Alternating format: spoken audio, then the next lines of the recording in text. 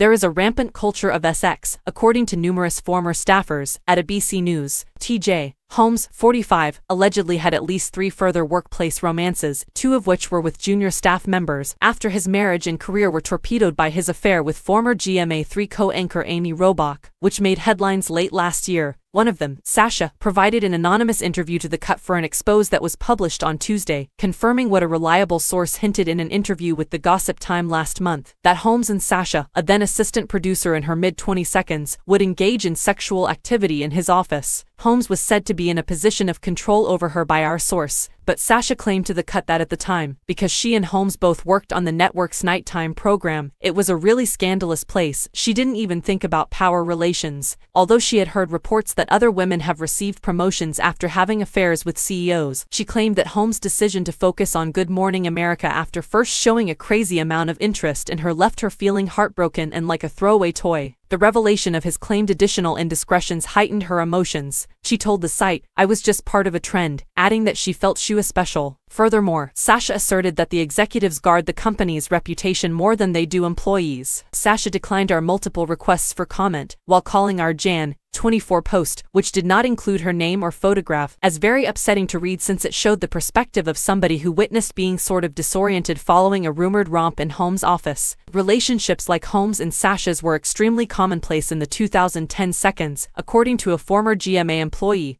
who also said that it seemed like everybody was sleeping around. The network, according to the former GMA employee, rewarded the folks that were either divas or adulterers. Ruth stated that GMA in particular seemed to be staffed by a bunch of horned-up high school students who learned how to do journalism in the 80 seconds when people were still doing blow in the bathroom. Ruth left GMA in 2019 but is still an ABC News producer. Ruth said she once complained to HR about an editor calling her baby and touching her bare thigh, but no action was taken since Ruth didn't look that furious about it. According to Ruth, Ruth thinks Holmes is being used as a sacrificial lamb because the culture of office connections has evidently been a pretty well-known issue for a long time. Julie, a former employee of ABC News, said to The Cut that she remembers asking herself, What's wrong with me? Would I have been more likely to acquire one of these jobs if I had slept with someone? When an older coworker made an inappropriate move at her, Alicia, a former ABC News producer, admitted that it never occurred to her to report HR because she reasoned, this is just what happens, right? She continued by saying that one executive went very, very sour on after she started dating an older coworker who appeared to be different,